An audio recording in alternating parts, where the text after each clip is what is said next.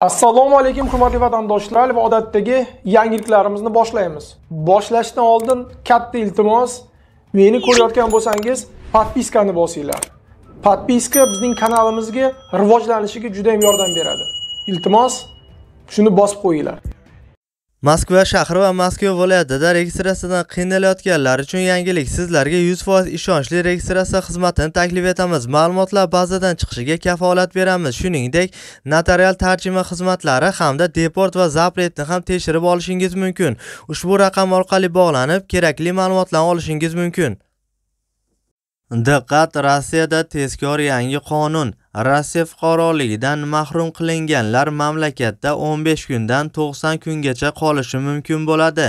Ichki ishlar vazirligi tomonidan ishlab chiqarilgan tegishli qonun loyihasi hukumat tomonidan ma'qullandi deb yozmoqda Izvestni.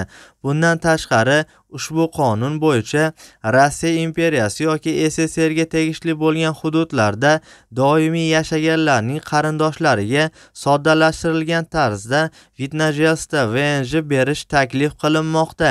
Videoga like bosib, kanalimizga obuna bo'lishni unutmang. Rossiyadagi eng so'nggi yangiliklarni birinchilardan bo'lib bizning kanalimiz orqali kuzatib borishingiz mumkin. E'tiboringiz uchun kattakon rahmat.